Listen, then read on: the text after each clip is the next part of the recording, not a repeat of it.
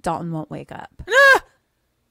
Cut to them at the hospital oh and a doctor God. telling them there's no brain damage, but he is technically in a coma because there's no reaction to stimuli, but there's no brain trauma or affection and all the scans are normal. So Oh no. yeah, he he he says it's something he's never seen before.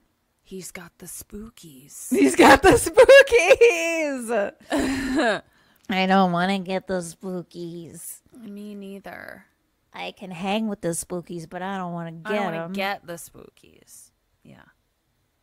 so actually, I don't want to hang out with them either. Sorry. Sorry, depend- spookies. Depends on who the spookies are.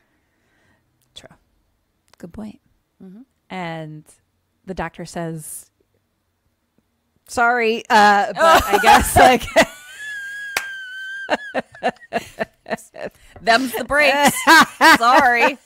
That's how the cookie crumbles. Your kid's in a mystery coma.